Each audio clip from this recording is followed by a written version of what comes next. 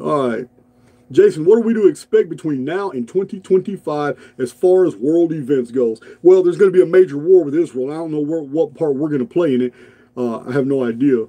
But I do see the United States of America becoming more isolationist and economically a superpower, uh, internalizing its economy.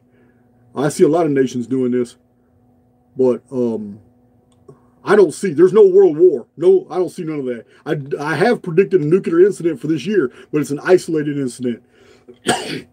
now, that prediction could also, because I said from the very beginning that it's a new, it's a nuclear scare. It, it might be an actual incident, an ICBM exchange, something from a submarine, or or maybe a meltdown of a facility like a Chernobyl type event. Said, so it's hard to tell if that's already been, that's already happened or not. There's a lot of information about Ukraine that just hasn't come out, and some of the information some of the information is being withheld.